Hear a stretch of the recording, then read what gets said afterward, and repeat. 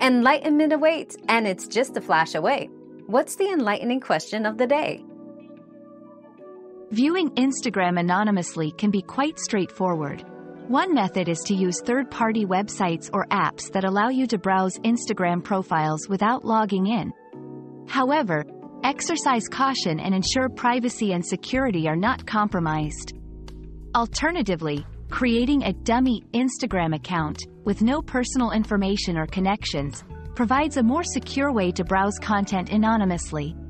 Remember, respecting users' privacy and adhering to Instagram's terms of service is paramount.